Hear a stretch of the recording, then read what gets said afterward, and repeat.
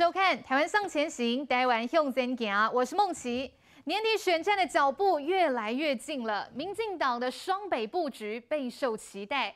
陈建仁、陈时中，民进党到底要怎么安排呢？小鸡们现在都在呐喊，说这个提名不能再等了。而台北市的这一局，国民党是最早出牌的，他们推出的是蒋万安。可是呢，最近却有国民党的里长私下跟媒体透露说很不满，因为到现在都还没有看到蒋万安来拜访，批评说真的很不接地气啦，是标准的天龙国王子。哦，蒋万安今天有最新的回应，我们稍后再一起来看。而在桃园的方面，国民党今天是大动作召开记者会，指控林志坚涉嫌抄袭论文。更痛批，要是抄袭属实，就应该要马上退选。好，面对蓝营的这一波攻势，林志坚呢在中午的时候也亲上火线来开记者会澄清，他强调绝对经得起考验，而且也说要跟律师来讨论，不排除要对国民党的王宏威提告，捍卫自己的清白。我们稍后一起来了解。好，我们赶快先来介绍今天现场来宾。首先，第一位呢，先从我的右手边开始。我们欢迎到的是民进党桃园新议员杨家良。大家好，大家好。好，再来邀请到的是政治评论员张明佑。祝请大家平安。好，接下来欢迎到是国民党桃园新议员黄敬平。恭喜大家平安，大家平安。好，稍后还会有社民党台北新议员苗博雅以及资深媒体人温生温大哥都会加入节目讨论现场。好，我们先一起来看哦，距离这个年底大选只剩四个多月了，民进党的双北布局现在进度到底在哪里哦？到底到哪里了？基层是非常的着急哦，外传有可能会是双城布局，陈建仁跟陈时中，好，怎么安排？稍后再一起来讨论。先来看到指挥中心正在召开记者会，一起来看。好，呃，各位媒体朋友好，那我们开始今天的呃记者会。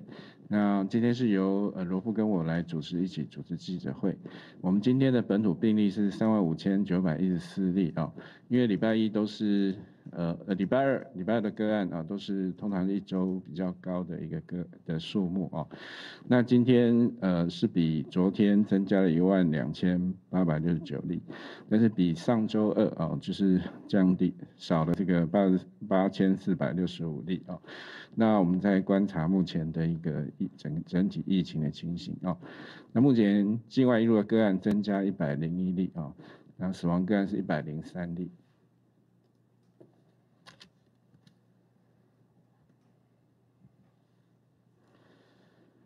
那到七月四号啊，今年的本土病例共三百八十六万三千九百九十一例。那今天总共新增了一百二十五例的本土中重症以上的个案。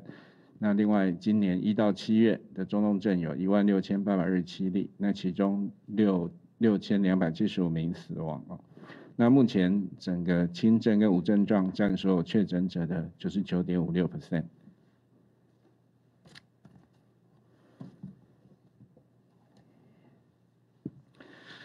那在这一百零三位确诊的死亡个案里面，那有九十四人啊是有癌症等重大疾病或慢性病史，另外是有五十八人啊未打满三剂疫苗，另外有四十六人啊年龄超过八十岁以上。好，那在我们请罗部报告有关这个死亡的一个情形。好，大家好，今天公布的一百零三例死亡个案，年龄是从九十多岁到三十多岁。那其中年纪最轻的这位三十多岁的男性哦，本身是没有接种过 COVID-19 的疫苗，有慢性的精神疾病哦。那他这次是在六月二十一号的时候开始有发病的症状，包括有咳嗽跟呼吸喘的症状，当天就就医后裁检，那检验 PCR 阳性确诊，那当天也住院开始。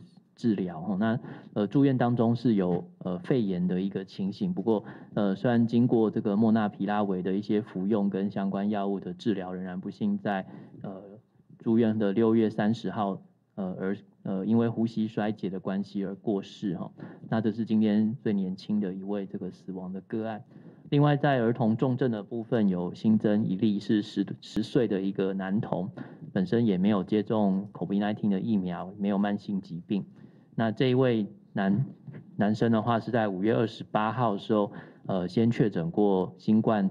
感染哦，在七月一号的时候，呃，再度出现有发烧四十度哈，有腹痛、咳嗽、流鼻水哦的这些症状。隔日七月二号开始有呕吐跟活力降低、胃口降低的症状。七月三号时候由家属带到急诊哈，那经过检查发现，同时也有结膜炎跟全身皮疹，以及血压偏低、发炎指数升高等等状况哈，所以医院这边怀疑是 Miss C 收租到加护病房当中来进行。治疗接受的药物包括有免疫球蛋白跟类固醇等等。哦，那目前的情形是仍然在儿童加护病房当中持续的治疗跟观察，不过目前的病况是尚属稳定。哦，所以这儿童的重症的部分，我们今天新增一例，呃，累计是总共八十四例。那其中 Miss C 是占二十七位。哈，那死亡的呃人数是跟之前一样维持二十一例，没有增加。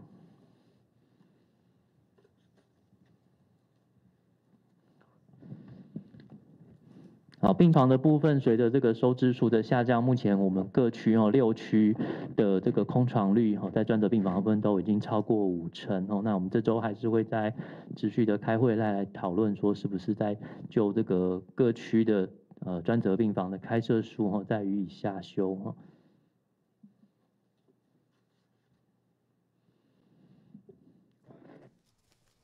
我们看到今天本土的确诊数是新增三万五千九百一十四例确诊，另外死亡的个案是新增一百零三例，这是今天来自指挥中心最新的讯息。而接下来来关心到的是这个选战的焦点，最近一直不断不断有风声传出来说，这个阿中部长萌生退役，不想没算呐，真的是这样吗？今天部长有最新的回应，我们一起来看。副部长陈时中出席慢性病活动，但外界关注依旧是双北市长选战。民进党双北市长人选卡关，传出总统蔡英文就等一个人。前副总统陈建仁点头，让不少有意参选的人好泄气。立委罗志正宣布没有意愿选新北市长，传出陈时中也萌生退役。没有，就本来那时候就没有什么的宣布，当然就没有什么的退役嘛，哈。那现在是把这个防疫的工作做好来。那副总统跟选都会有跟你这边接触过吗？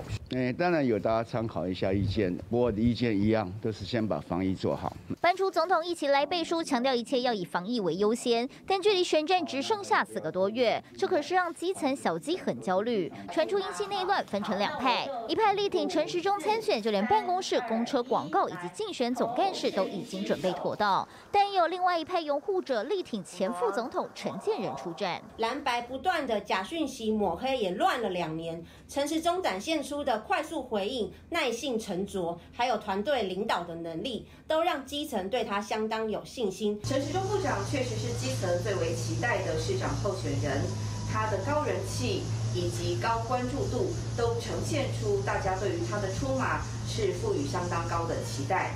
过去是扛轿。未来如果有机会坐上参选的轿子，他势必也能够展现他的接地气以及爆发力。不管是立委还是议员，都对陈时中有信心，也反映在民调上。根据平面媒体最新民调显示，陈时中以五成四赢过前交通部长林佳龙和陈建仁。哦，我想那个民调是。就是大家就是用网络上大家有有趣的反应，然后不能当做一种民调的反应。那我想那个是不太一样的哈。快步离开赶行程，九合一选战最关键的双北市长提名，民进党如何布局，就看选对会怎么瞧。好，民进党在双北的提名目前都还没有定案哦。这几天媒体报道说，是不是都在等一个人呢？这个人到底是不是前副总统陈建仁？哦，昨天前副总统在面对这个媒体的这个追问的时候，他非常低调哈，只简单的回应说：“哎，谢谢大家哦，祝大家都平安。”那至于这个阿中部长的部分，也是非常热门的人选。不过呢，最近一直不断有风声传出来啦，说这个部长哦萌生退役。谋杀熊没算呐。那今天部长是告诉大家说，本来就没有宣布啊，所以也没有什么萌生退役这样子的说法。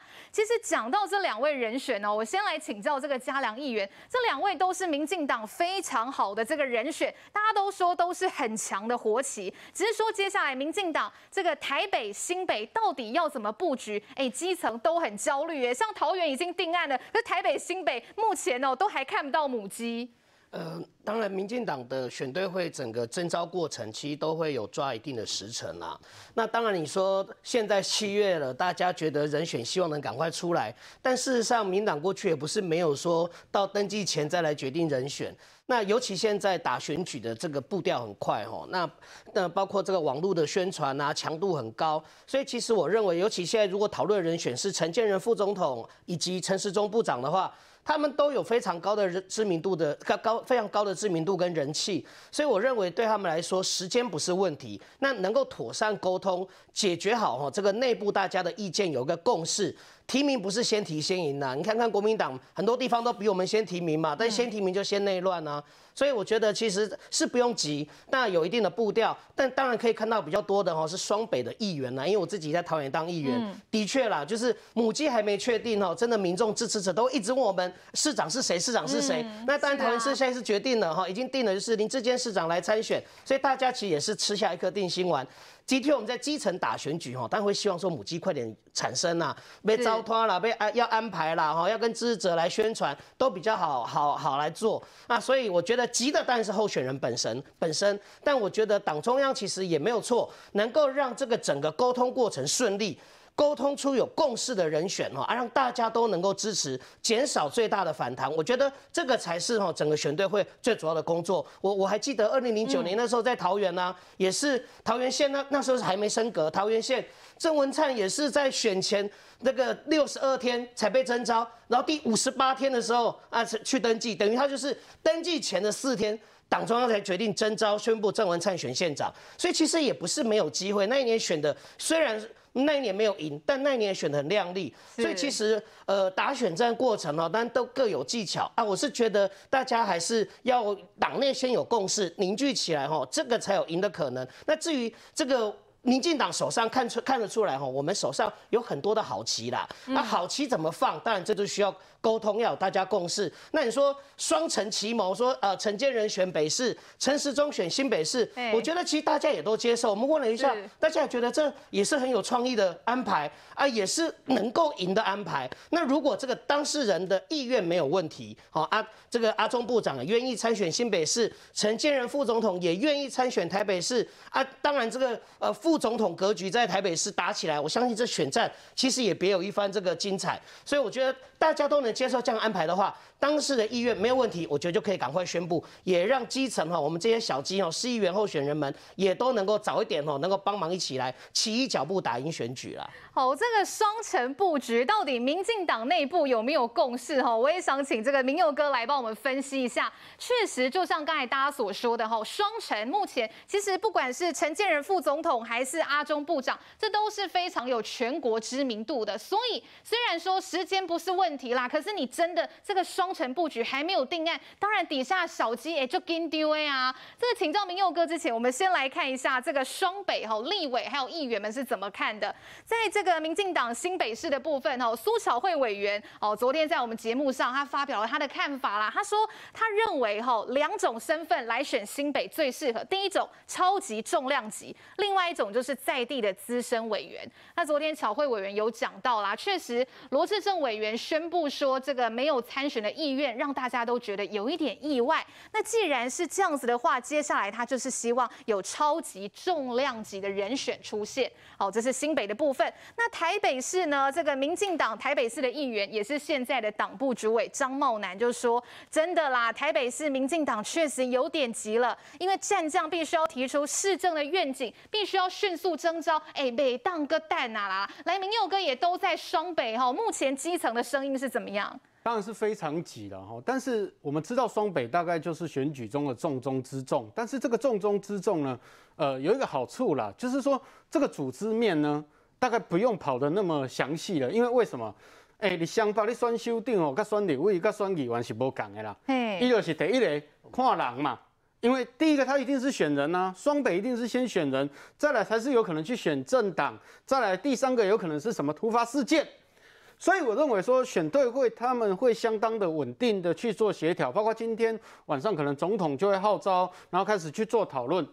目前台北市来讲，大概只有林佳龙表态也提出了政见，我看他昨天还在发脸书有提出了相关的政见，是，但是其他人比较捉摸不定啊。第一个，我认为说陈建仁选的机会，我还是觉得不大了。第一为什么呢？第一个，他当过副总统；第二个，他加入民进党没有多久，可是忽忽然间出来选，对他的政治前途或他影响有什么帮助？在第三个，他个人也表示说，他希望只是做周边的相关研究工作。所以大概在这个几个前提，除非总统可以说动他。哦，这个就要总统非常努力去说动他，因为我们知道，呃，我们陈建仁副总统他是一个类似圣人的一个状态嘛，他是梦幻级的人选呐、如果他愿意出来承担，不管去双北哪一个地方，我相信都是强棒。来，再来这个陈时中的问题呢，我觉得真的也拖太久了啦。我老实说，你台北市，你既然要做这样的决定，大家也经过多方的讨论。我相信总统是希望平衡派系之间的考量，因为选举有一个特色啦，哈，一民进党的选举来讲，就是今仔日定这个，嗯，其他派拢总爱配合，是因为我们知道民进党是一个派系政治，所有可以关起门来，派系可以谩骂，可以干掉，可以干嘛？可是最后只要定你一尊的时候，大家出来一定是团结一致嘛。这民进党长期以来特色，不希望这一次去破坏这样子的一个制度。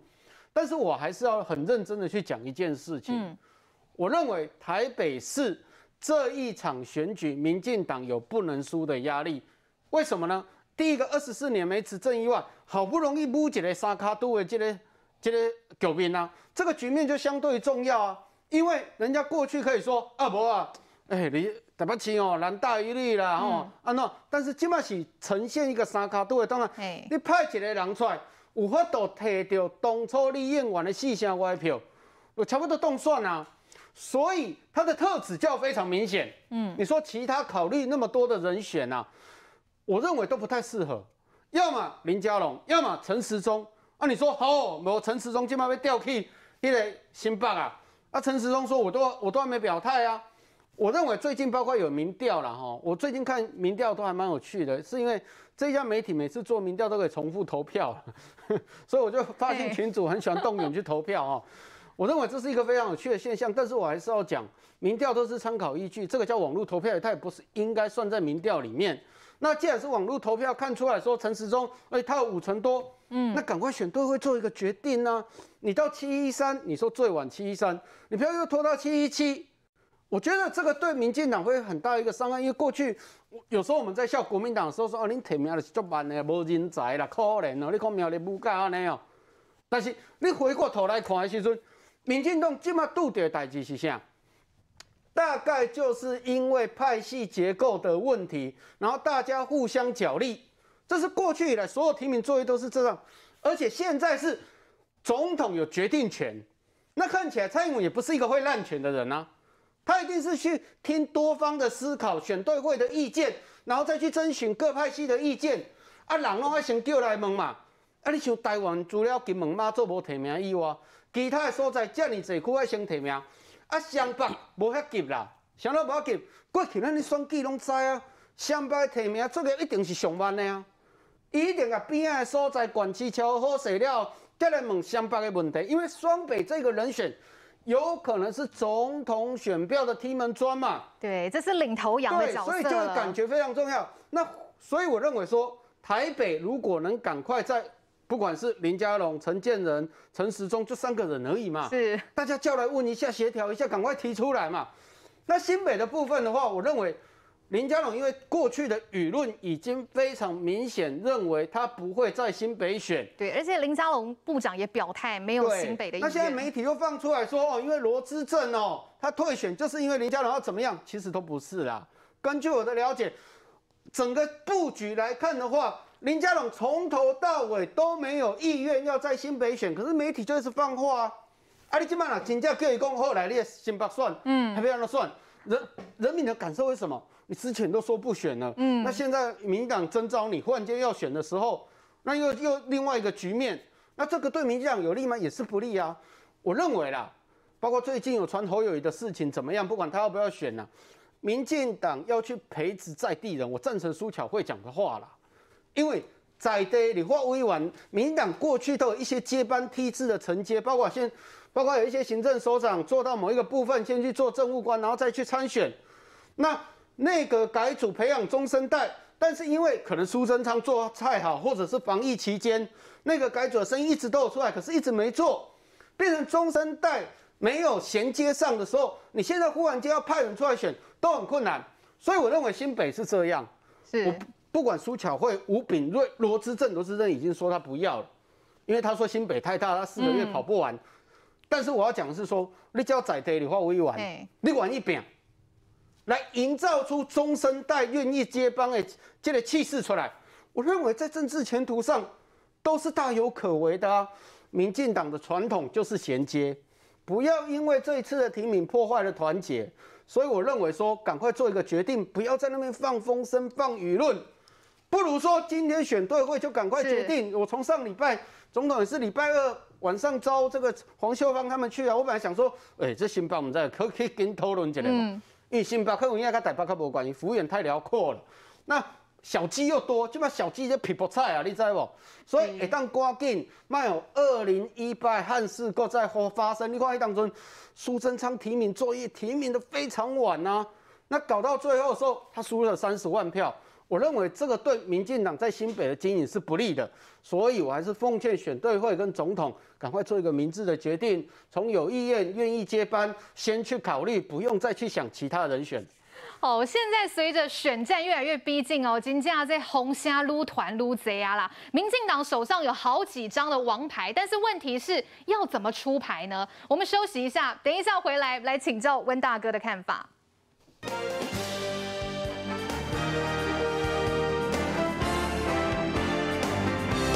看，哎，孔雀开屏了，开起来了，哎，整个打开，而且它刚才有叫哦，它叫着，它。